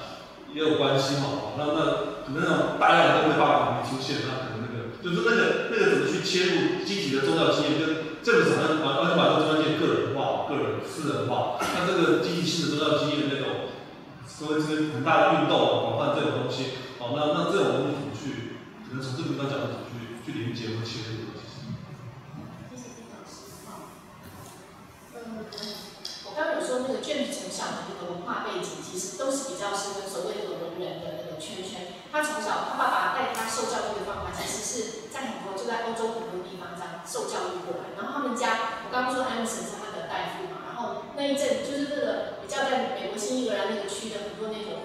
文人雅士等等，也都是他爸爸特地的做上课，就是他从小其实是在这种氛围长大。然后我觉得他可能距离那个平民最接近的是他对那个 micro movement 这件事情，就说那时候的那种会用很多这一种那个，其实又很方便又很便宜，然后又不需要付出太多的那个，就说他对他的某种评价的那个，可能是他比较接近。那当然他自己对一些比较灵媒的现象很感兴趣，就是他他其实也是当美国当初的那个超心理学的研究学会的方针之一，就是他对这一类人的研究其实也很感很感兴趣的。那可是就是他，呃，就是我我我说他其实，因为他很多可能是表达对这些态度的一些看法，可是他比较不是真的是去做某些某些研究这样。那可是如果说讲到那个比较后期，就说呃跳脱这种比较是属于刚刚丁老师说的那种文人圈，然后讲的那种跟超越啊神圣的这一块的那个，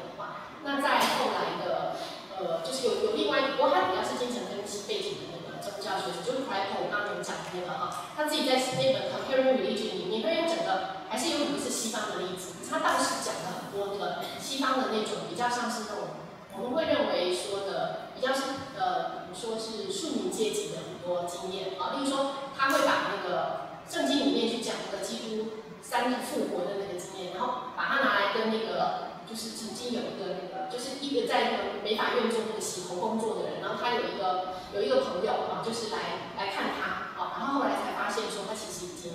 就说可能一两天前就已经去世之类的。然后说这种，他也看到一个活生生的人在他眼前，那跟耶稣的门徒看到耶稣复活这种经历，就是他会拿很多这一种我们觉得好像不是被放在那种已经早已被那个神学框架框住的那一种什么神圣连接，他会拿大量的这一类的，而且在实际上发生的的，他就收集了很多，那大家都是美国的，然后我觉得那个就会有点突破刚刚吴老师问的那个，就是卷子这边讲的总是好像是那种比较什么超越的一些连接等等，那的确是有一些后来的那个学者，那我刚刚说的那个 p r i p e 他其实也有另外一本专书哈，他是在讲说，其实对这些我们都认为说小道的经验，然后不入流，然后听起来很像那种登在那种那种地方杂志的那种商业闲谈什么什么，他会他提到说，其实在就是差不多 James 那个年代，其实是有很多学者是是愿意看重这些经验的，只是说在那个心理学后来真的越来越朝向刚刚说的那种科学实证的那个呃发展之后，刚刚说的这一类经验，通通就都不会再被拿拿进来谈。然后他写那本书其实也有点想要回头去追认说，这个其实也是他们会去关注的现象。那 James 的确他还是有一种比较像是美美国文化的那种乐观主义就是说刚刚那个丁老师会说啊，对心灵鸡汤的某种肯肯认等等。那虽然 James 他是会对于那个就是呃 sick soul 啊那种比较经历受苦而来的那种宗教性比较肯认哈，然后呃就是可是就是如果呃就是按照那个宗教心理学后来的发展，后来 James 之后其实慢慢的有很多那个欧陆啊，从那个存在主义哲学、马克思主义等等，他们就是流亡到美国嘛啊，然后就带来另外一种重要心理学的另外一个样貌这样，然后欧陆过来的这个传统的确就会跟 James 这个时代的已然还有某种乐观主义是不一样，就是 James 虽然他还是看重某种他认为比较有深度的东西，可是那个毕竟还是在美国文化当中啊，然后呃。就是后来那个战争的发生，哈，就是也有的人有提到说，James 当著作当中，他还是洋溢着某种比较轻快乐观主义的那种东西。那个东西后来其实就就就就没有啊。我觉得就用我所知的这些部分来的东西。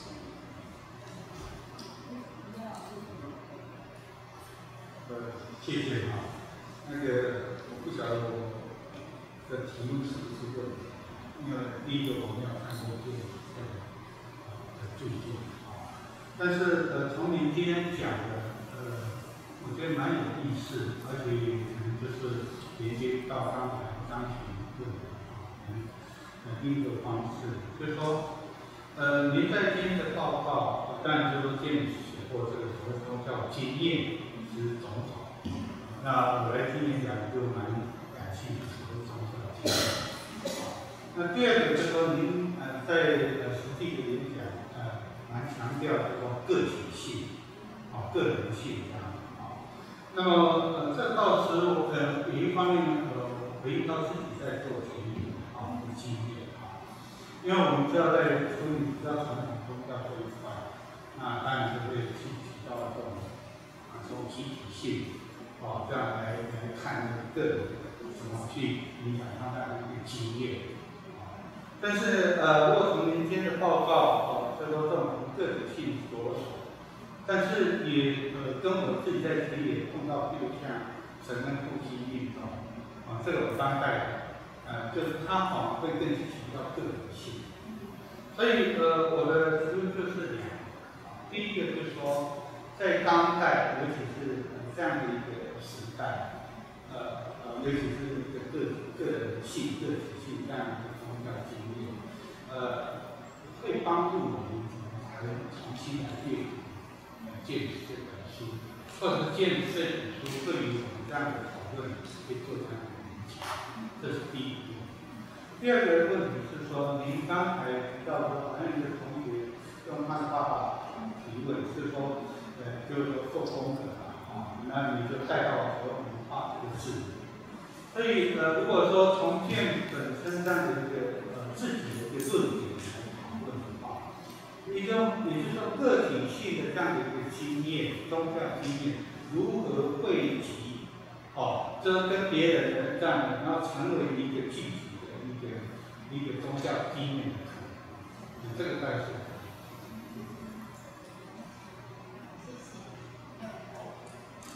当因为卷子对于那个个体性的强调的一个意义，一个是放在刚刚你在讲说，呃，在那个时候开始建构的科学心理学里面，它还是对一个普遍的心理法则的看重的脉络之下，那当他去强调个体性的时候，就是是在那样的一个背景之下，这个对于个体性的呃强调的一个它的特殊性啊。那这个概念到了那个比较后面，比如说荣格在讲那个 individuation 啊，他就会对于那个刚刚讲到的那个发展的那个观点，可能有更多的一个看法，就是、说一个个体，就是如何达到某一种那种完整的一个，就是比较人格的同整的这样子的一个一个一个状态。然后它既是一种，就是说。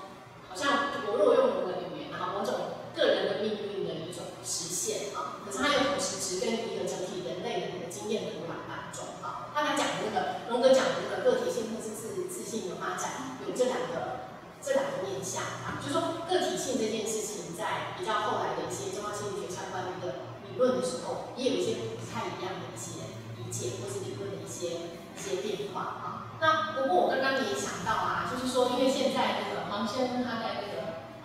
那个新自由主义的那个脉络之下去探讨那个呃台湾各个面向，他接下来有一个专题是，主要是讨论心灵跟自我的。然后这个个体性这个概念也是那个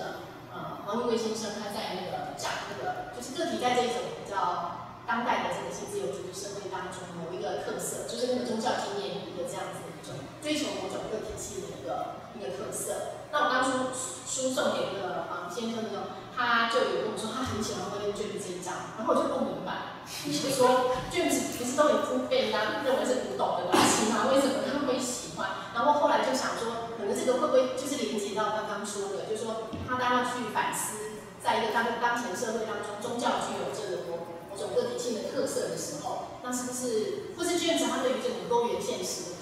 这个东西？就是就是也也是会，他他会喜欢这样子的，我我不知道，我要等之后会遇到王先再问他哈。对，那我还想，就是我这个其实也是只是一种连接，就是说哈，对于我们当代的宗教性的把握，个体性的确是一个，就说他就是例如说灵性这个词啊，远比宗教大家更喜欢，然后他比较强调一种，就是说其实他在谈论宗教经，呃，应该说他在谈论宗教经验的时候，常常也会用一些比较心理学化的。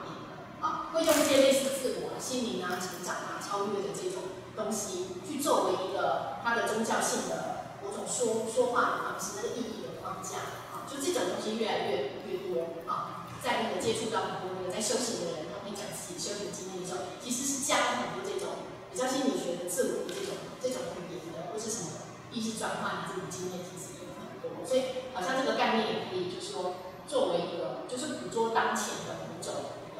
宗教性的一个切入的一个一个点，好，那呃，刚在讲说那个集体的，就是 James 这边看重那个，好像个独特的那个哈，也是背后的某种，就是当宗教经验是种种，它还是会被，嗯，它这边的诠释有点复杂，有的人认为说，呃，James 好像成为那个比较像是那种所谓澄清学派，就是说是那种把那个相关的一些文化社会历史脉络拿掉，然后只只要看那个所谓的一个所谓的本质性的，把它认为是那种本质学派，啊，然后那这个就这个其实是把它视为一种对它的批判，啊，因为在做那个密集经验的时候，有那个本质派跟那个建构派的辩论，建构派会认为说你所有的经验无法逃逃脱那个那个文化文化社会的历史条件的这个这个框架，没有一个叫做本质的东西。可是你看 James 在最后，他还是想要呃得到一种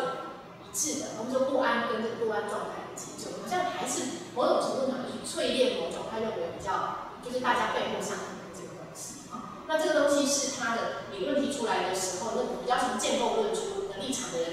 他会把卷子归到那个本质论本质论去啊，认为说，那他这个本质论其实也会跟那个宗教学一开始在建立的时候，其实是都比较谈谈本质的啊，auto 啊、意啊的这个，那卷子跟他们可能就比较合，可是这个就会成为后来的那个，就是比较看重一些比较。文化对人的那种影响有时候，会认为说他对这一点比较没有没有没有看见，啊。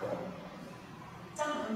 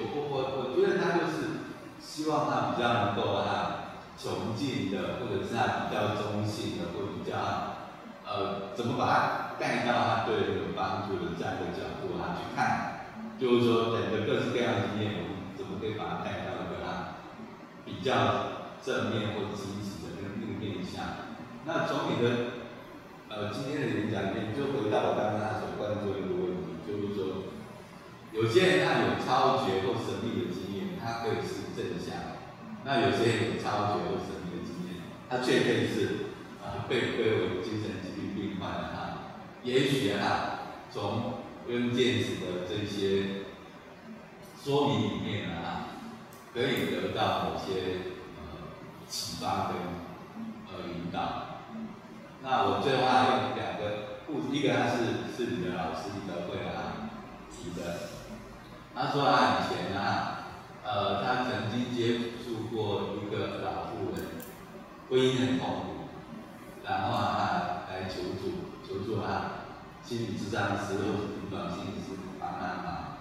那用了很多他、啊、现在的心理。上的一些技术啊，对他有影响啊帮他忙啊，都没有什么太大的帮助，因为他觉得他一生啊，在婚姻上面啊，真的是嫁错了，然后很痛苦啊，等等之类，一直他郁郁寡欢，然后啊，呃，身心糟糟，很大的痛苦。然后最后啊，那个心理师啊，跟他讲就是说，啊，就把他当做是小骗子。你就这样前辈子他欠他的这辈子来还债，那对这个老人突然释怀了，他完全他就觉得就是说，哦，那我这辈子只要把债还完了的话，我下辈子就不会了啊，你遭受到这样的一苦。所以实际上对这个人来讲，你要用他的熟悉的人跟他哈能够哈去对应的一些心理经验啊，去相连接，才会得到一些启。把故自啊带到这个叫真向很荣幸那另外一个例子啊是我你家也知道我在啊学校里面教新闻心理学啊教了呃十几二十年了啊常有文学院的学生修我的这个中文系的他说啊初冬之际走椰林大道的时候他会啊不自觉的掉眼泪那我把这样的例子哈，在课堂上讲，所有修心理性格心理学课的学生都是呃心理系的学生，然后都哄堂大笑。那我刚开始也觉得就是说奇怪，为什么秋冬之际还走椰林大道，看到啊呃落叶啊或者树叶掉下来啊，会有落泪的感觉。那我觉得他就是心思比较细腻的。他们可能很多很多人演讲，我早期不太清楚啊，他们为什么会有这些感觉？可是我教了多年之后，我就觉得人有很多很多的个别差异啊。我相信，呃，就我的了解是比较心思细腻，然后很认真的，你对人的这些啊普通的感受比较敏感，或者是啊这些啊，有的，所以我相信啊，充分见识的这些说明，确实可以让我们啊更扩展对人的经验。虽然我们说它有个常态分配，那可是对那两个极端的啊，我们好像啊通常都把它当做是一个 normal 啊，或者比较偏偏差的来看待。但是我觉得从它里面啊，扩展我们的经验，可以对这两个比较极端的，就是常态分配这两个极端啊，多一点关注。谢谢谢谢学长的回馈。就是今天学长，其实我也蛮忐忑啊，哈，因为那个就是心理学也是我的那个整个学术研究的起呃训练的起点。然后后来走到宗教研究，然后当年跟吕老师做研究的时候，其实也有蛮多是因为对于那种比较比较实证的典范的心理学的一种，我们想要去找寻一些其他的一些可能性。那今天分享的这个比较宗教的研究，更是在这样一个脉络，就是那个我如果在其他分享这个书的时候，都会从一个起点开始讲，就是说，其实我在心理系从来没有修过一个叫做宗教心理学的课程。就说为什么这样的一个课程在心理学里面，其实它是它没没有。那我是到呃比较后来念宗教的研究的时候啊，就是在博士班阶段才开始接触到接触到这个东西。那他在心理系的呃没有这件事，确实这件本身就是一个还蛮有蛮有趣的事情啊。那所以那个学长刚给我很多温暖的回应，就不会那么的紧张。就我这本书出呃出版之后，其实比较对我有反应都是比较人类学圈的，就是心理学圈，就是好像大家没有那么感兴趣啊，这是第一个。然后刚刚学长就是谢谢学长，然后学长提到那个呃幻听、幻觉，如果跟那个宗教的某种可能某种启示呃启发的那个区别哈，就是我我之前也有一次在讲这这本书，另外一张是在那个独立书店小小书房，我跟那个亚东医院精神科的陈俊明医师，就是只要针对这个脉络去看，就说如何去区分那个就是讲的那个幻觉以及宗教的那个启发。那当然，就精神医学本来就有一个他们自己去诊断的标准，那可能一个最明显的是那个现实感这件事情。我以前在那个医院实习的时候，其实也遇到一些他比较都是就被称之为宗教妄想的。那呃，我常常觉得那个被妄想所困的那个困，是因为他的现实无法与他人分享。我们我们也许都在某种幻觉之中，可是因为我们共享啊，所以我就觉得大家有问题啊。就是那个那个那个那个那个医院遇到的，因为他的那个现实，他觉得他是王爷的媳妇他自己就是王爷等等。那那那个现实他没有办法跟别人分享，或是他的某种这种自觉没有办法跟他的另外一个现实做做调和。我们说很多那个宗教师啊，啊那种。可能就是那种做上师或做老师，然后去影响信徒的人，他的那个那个宗教上面的某种解知觉，是一定要要跟那个现实的这这块是能够互相调和的。可是有的人也会在某种状态之中越来越失调嘛，哈，就是呃村上春树去写的那个日本奥古森比教的那个啊，那个麻原彰晃，也许在一开始的确有某种非凡能力，可是他后来某种非凡能力，慢慢慢慢的，他就是就我觉得都是在跟跟现实的关系出了一些一些问题。所以就这一块，我学长刚提的那个，到底宗教经验是不是幻觉这个议题，也是重要心理学我认为很根本的一件事情。那我在这本书的那个后来总结的时候，其中也是想讨讨论的就是这一个。那对于他是不是幻觉这个，就是从卷子以及我书中谈到的后来的这些不同的理论者，其实他对幻觉都有一个不一样的看法。所以就是刚刚学长提的这个是一个正重要害的，就是他的确是一个很重要的一个一个议题。好，幻觉是否是幻觉这样？然后呃，一个人的那个就是性格跟那个成长的。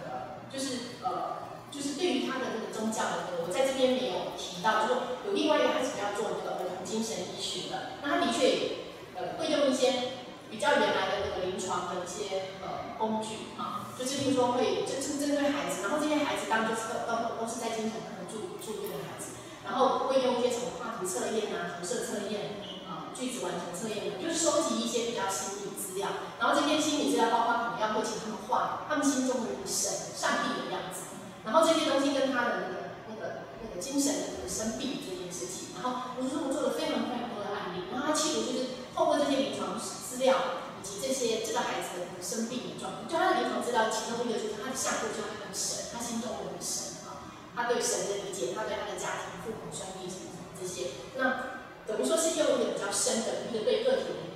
然后想要去看到他的生命跟他种种这些经验之间的一些关联啊。然后我做到最后因为它是一个比较大量的案例的收集最后他也有用一个其实也是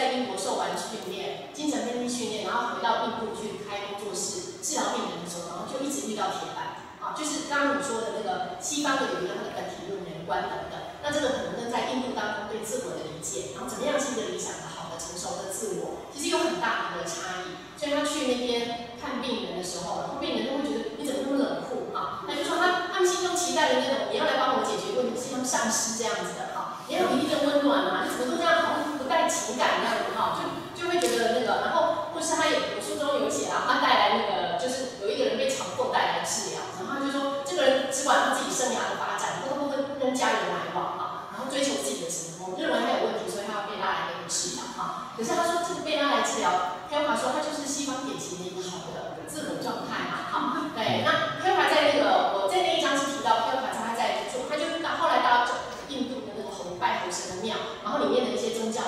仪式疗愈，然后那个仪式疗愈可能跟那个精神分析的这种，就是说呃病理学或它的一个治疗的一些观点。就是这这两种的一个一个对话，所以如果会比较接近那个刚丁老师到毕真在这边讲的，就是一个从西方然后到另外一个文化里面，因为他对于灵的观点啊，他说在印度当中，他本来也就是这个疾病跟倾向有关，然后跟那个气候跟你环境的不和谐，然后跟灵灵的这些也通通都有关系。那这些在一个在地的一个宗教仪式疗愈当中，其实这个面向都会被放进来。可是当他在一个纯粹就是精神分析的那个那个，其实。这些东西都都不谈啊，所以康卡他就去反省说，其实精神分析或是这些西方理论，并不是如他所言的掌握到的是一个普遍的心理动态。好，弗洛伊德就会觉得他的那个他的某种他的自我或是那个原我跟超我，他觉得这是个 universal，他没有受到一些文化的。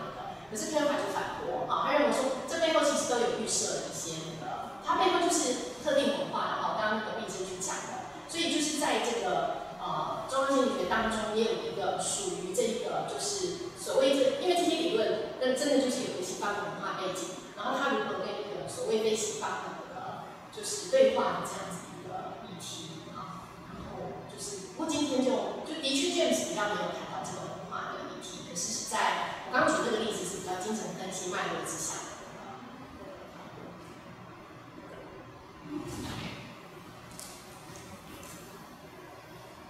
呃呃，谢谢林佳老师的那个分享哦，都很久没有听老师分享，就是还是受益良多，尤其是在我处理呃猎人猎人灵性灵力这个部分的课题上哈，其实是有一些理解。像我们在讨论宗教电影或宗教区研究，其实会去把呃宗教的仪式经验或宗教经验，把它跨越到呃可能它是一个呃区域的社会社会文化脉络下。或者是将它跨越在比较像刚才这些使用主义功能，它是对于环境有什么样的注意？哦，那那今天基本上就会让我让我拉过来去谈，哎，其实它是可以去谈宗教经验本质，它的本身，以及怎么安置我自我的经验在里面哦，这其实是有一些一些触发。那只是说在这里面其实有有两个想要提问哦，第一个就是呃，从一个比较实用。这样子去谈实用主义这样的一个一个概念来去谈经验的时候，仿佛他还是没有那么承认它的存在，就是他还是把它拉回拉到一个很功能性，它一个大社会的一个一个实际的利益、理性这样的一个感觉，还是拉回来，再拉回来去谈，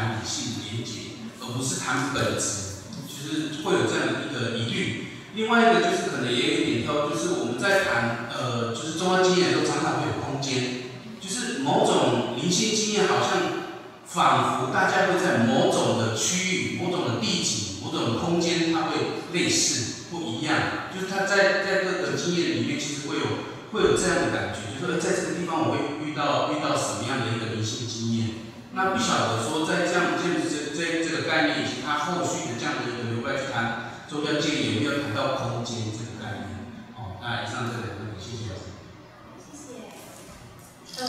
那个 James，我我认为卷子功能论比较像是他在为宗教经验辩护的时候采取的一种策略啊。那所以他在那个演讲的时候，他其实前面完全都没有提到他个人对于这界到底是否存在，他都没有讲。是他到了结论的时候啊，就是才开始出现说，如果不要问我啊，我相不相信有这些？那他最后是他在最后才表达他的立场嘛，好，对，那因为那也到最后，因为 James 在这些演讲的时候，他都要很留意，就是说好像被被牵连到一种不科学的形象，然后呢，所以他前面就很小心啊，然后他的确是有在结论的时候去承认他对于这些神圣力量的看法，他是他如果就是那个就比较他他说如果是问他个人啊，他是相信这些力量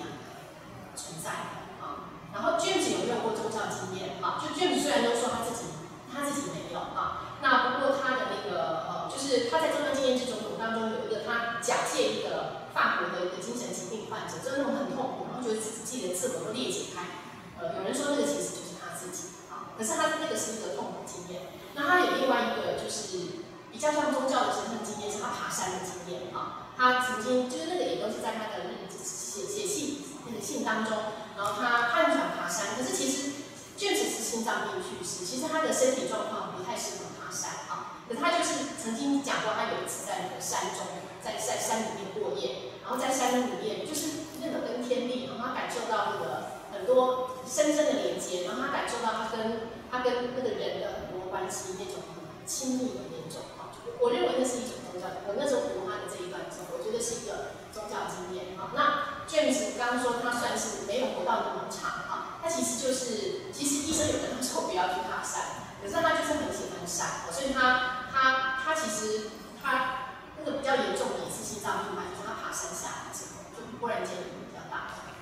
的那个哈，对，那他我觉得他是有的，虽然可能规模没有像他这边收集的这个资料，他自己也是一个一个，就是说我刚说他用一个比较 reflexive 的观点，不是一个纯粹要站在一个 outside outsider 的这个这个状态啊，我觉得他是用一个可能自己有亲身经历，可是因为他本来就是一个比较谦和的温和个性的人，所以他写东西的时候不会那么 dramatic 啊，就是说太把那个我写进去啊，所以这是对你的第一个问题。然后第二个问题，如果说是对于那个空间啊、环境啊，呃，另外一个我也把它放在一个跟宗教心理学比较相关的脉络是生态心理学的这个脉络啊。生态心理学，因为它整个也要去看说人置身于那个自然自然之中啊，就是生态心理学对于那个心灵的看法，那个界限弄得更大啊。我们刚刚在讲说，就你这边指出下意识啊，然后弗洛伊德讲无意识，呃，荣格讲那个集体无意识，然后到了那个生态心理学，它就已经不止，就是它它在那个人跟非人的那个界限上面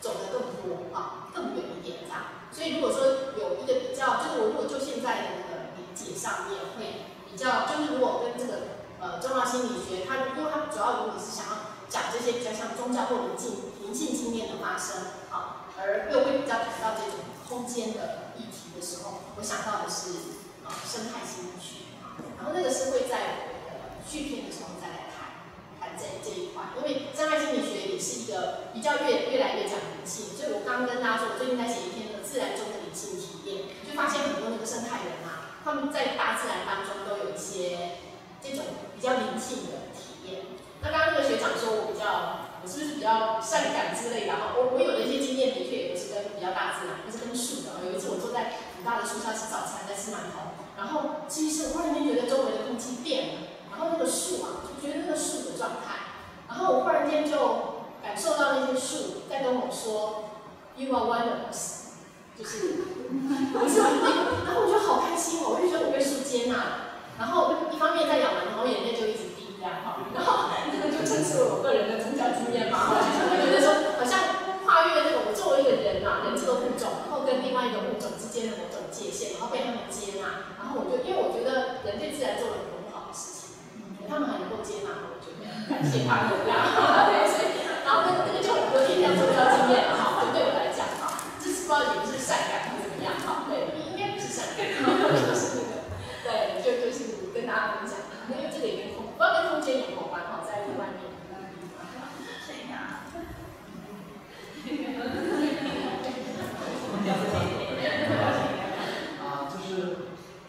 刚开始紧张。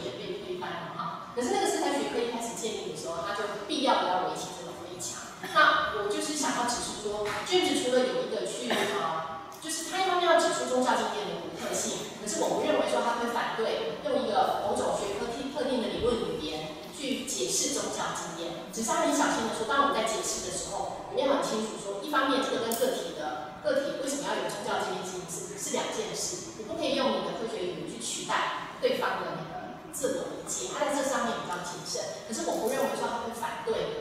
要用这种比较理论的语言，因为一个东西你如果都不去约化，我们学科一定在约化啊，学科一定是用特定的某种视角啊，所以我会觉得说卷子其实有一个企图提出解释的这样子的一个一个一个面向，这样。那刚刚如果说有点间接的回应陈阳讲那个非约非约化论的这种这种取向，其实它我觉得它比较像是某种某种口号啊，可是就是它会指出这个东西的独特性，可是它在之后如果说要有某种某种呃研究视角的开发，它还是。不能只是宣称说你这个东西不能被别别的语言那个啊，那个就是其他的那个，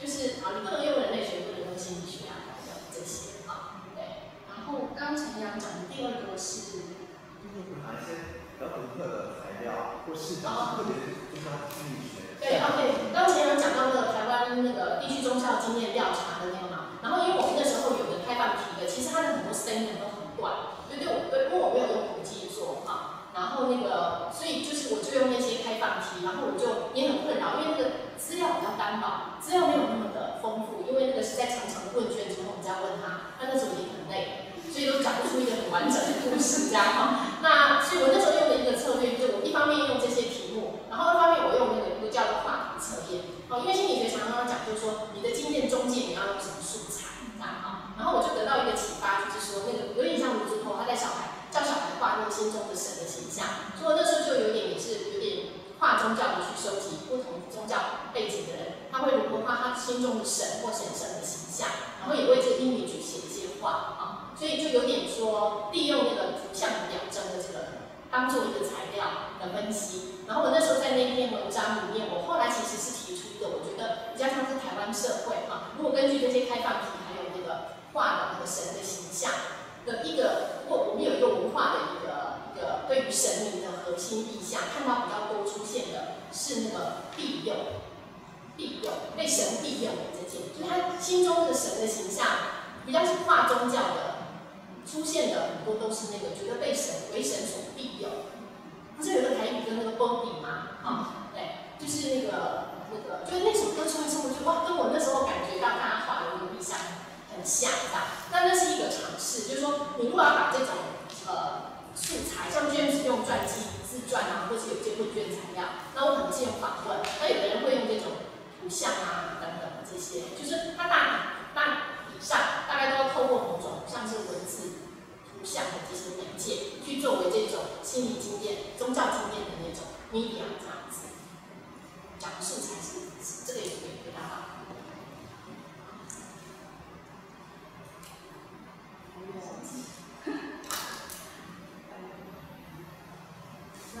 如果大家还有其他的问题的话，那我们都非常谢谢杨天亮精彩的演讲还有结尾，那谢谢大家的参与，那我们再跟大家。